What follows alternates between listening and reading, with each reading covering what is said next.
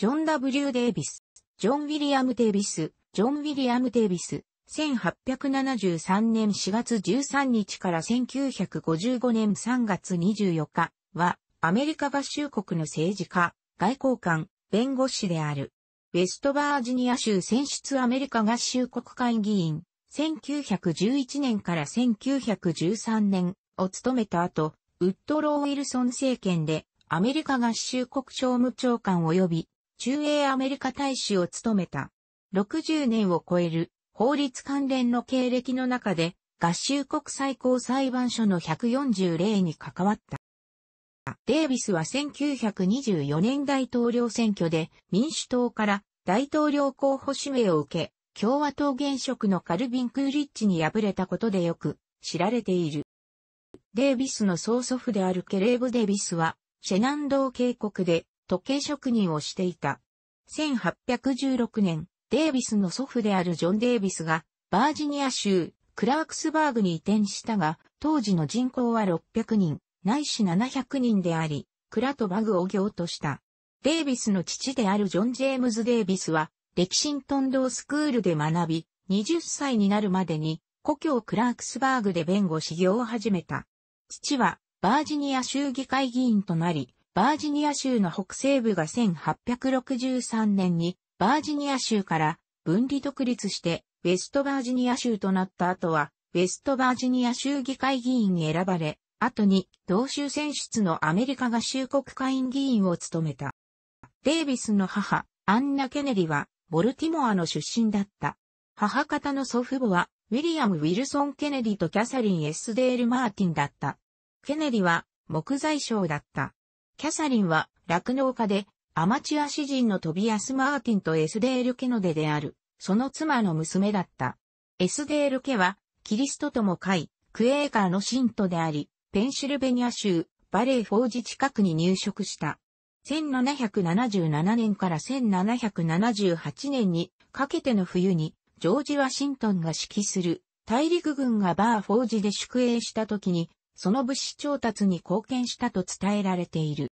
デイビスの日曜学校教師はジョン・ W・ デイビスは小さい時から高貴な顔立ちだったと回想した。デイビスの電気作者はデイビスが良質な英語を話し、いつも清潔に保ち、他の若者たちよりも威厳があり、並外れて、行儀も良かったとまで言った。デイビスの教育は、家庭内で始まり、その母がアルファベットを覚える前から文字を読むことを教えた。その後、家の図書にあった詩や他の文学を読ませた。10代になると、州の教職試験に備えるために、他の生徒と同じ教室に入れられた。数年後には、元は女子だけの神学校が私立の学校として2倍に大きくなり、昼間学校になったものに入学した。そこでの試験の成績は94点より下回ることはなかった。デイビスは16歳の時から大学に入り、1892年にワシントンリー大学文学部でラテン文学を専攻して卒業した。ファイカッパ最友愛会に所属し、校内のスポーツに参加したり、混成の集団に加わることで、キャリコを取ったりした。卒業の直後には、法律学校に行きたいと思ったが学士が不足していた。デイビスはその代わりに、ウェストバージニア州、チャールズタウンのエドワード・ H・ マクドナルド少佐のために、学校の教師になった。マクドナルドの9人の子供と6人の追い目を教え、そのうちの一人、当時19歳のジュリアが後に、デイビスの妻になった。デイビスは、マクドナルドとの9ヶ月の契約を満了し、その後、クラークスバーグの家に戻って、父の法律実務で修行を始め、14ヶ月の間手で文書を写し、判例を読み、その他当時の法律家を目指す者がやることの大半を行った。1895年にワシントンアンドリー大学から法律の学位を得て卒業し、法律学級の演説者に選ばれた。その演説は、後の弁護術の一端を垣間見させるものだった。ワシントンリー大学法律学校は、デイビスのことを大いに誇っている。1947年、大学は優秀な成績平均点を残した法学の卒業生にジョン・ W・ デイビス賞を送り始めた。この法律学校では、校内法廷弁論大会にデイビスの名を付けている。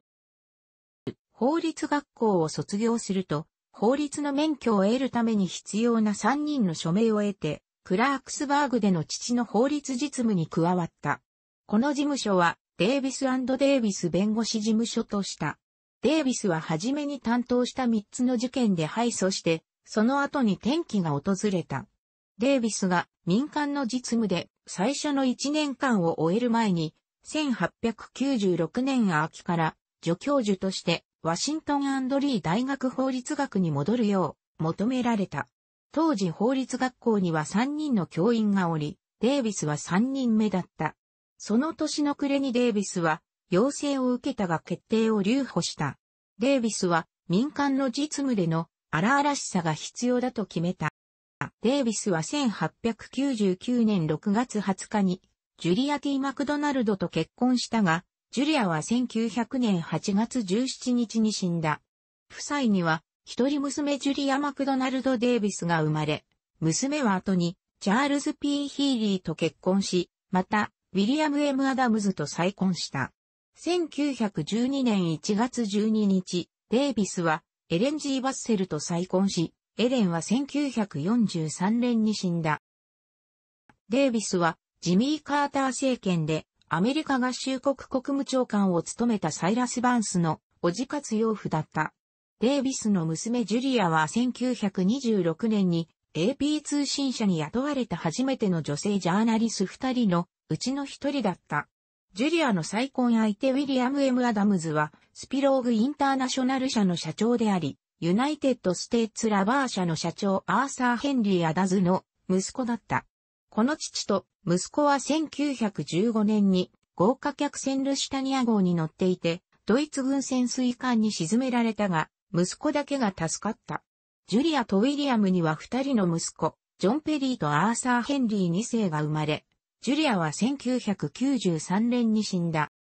デイビスの父は、ウェストバージニア州を分離創設することになったホイーリング会議の大議員であったが、奴隷制を支持し、アメリカ合衆国憲法修正第15条の批准に反対した。デイビスは父の保守的な政策の大半を引き継ぎ、女性産政権、連邦政府の児童労働法、反死刑規制及びハリー・エストルーマンの公民権計画には反対し、詩人としてはアフリカ系アメリカ人が投票を許されるべきかということを問題にすることで人頭税を擁護した。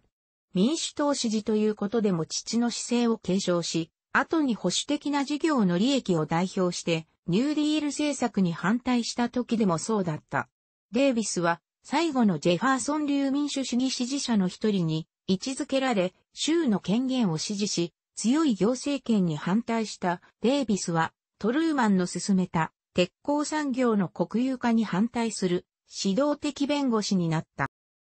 1911年から1913年はウェストバージニア州選出のアメリカ合衆国会議員となり、クレートン法を共同提案した。また、ロバート・ W・ アーチボルド判事の弾劾裁判では、マネージャーの一人として公に導いた。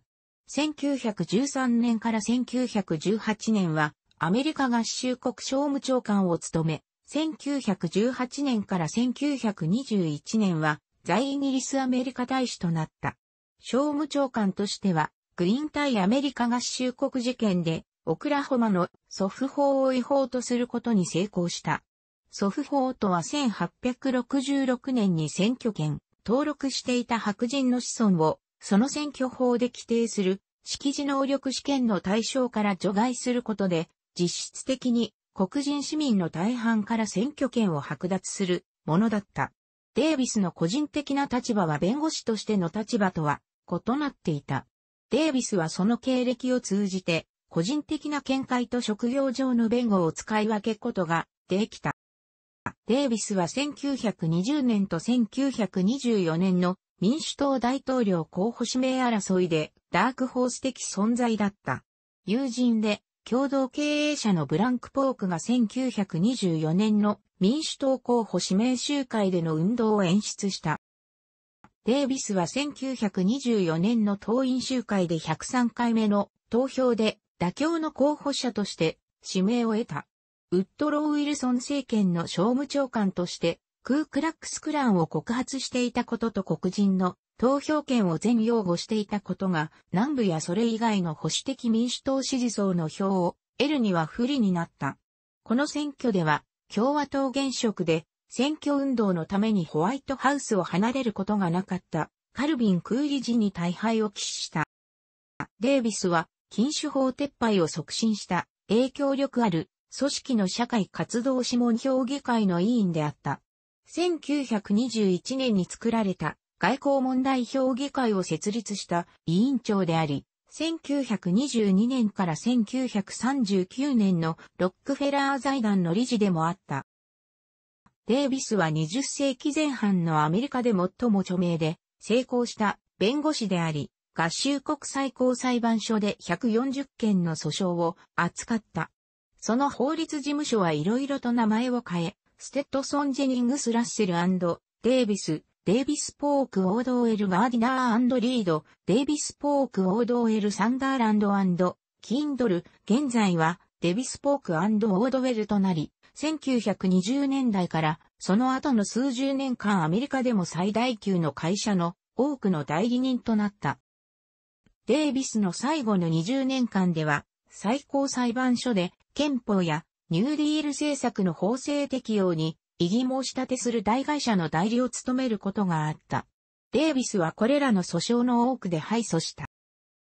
デイビスはその経歴の中で合衆国最高裁判所で140件の訴訟を扱った。これらのいくつかは商務長官としてであったが、大半は施設弁護士としてだった。20世紀のどの弁護士よりも最高裁判所の訴訟を扱った件数は多いと考えられている。ダニエル・ウェブスターやウォルター・ジョーンズはデイビスより多くの訴訟を扱ったと考えられているが、もっと前の時代の弁護士だった。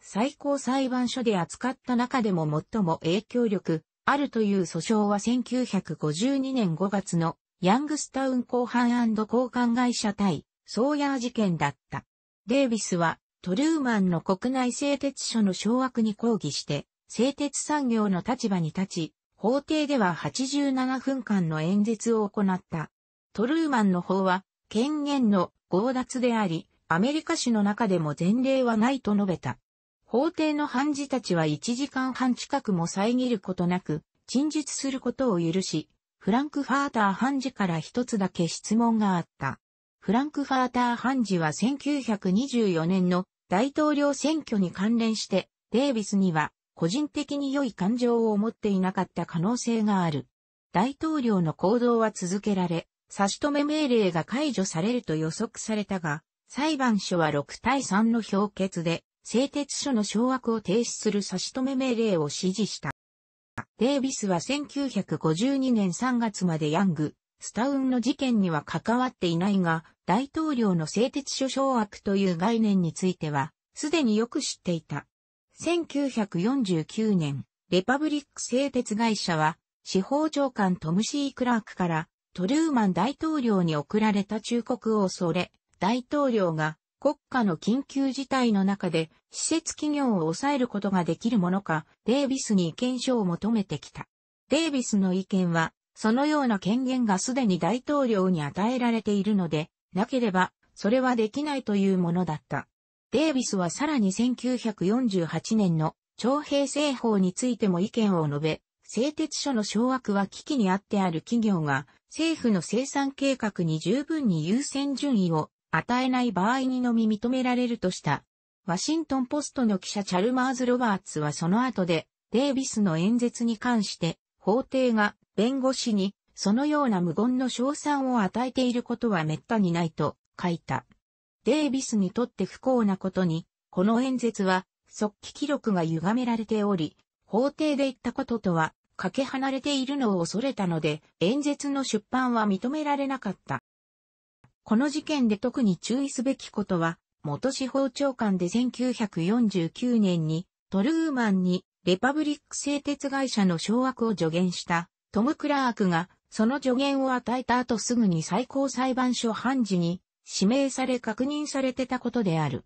クラーク判事は、その票を多数派に投じたが、その意見に同意していたのではなかった。クラークは、大統領が製鉄所を掌握する権限に反対する投票を行うことで、以前言った忠告に真っ向から反対しているように見える。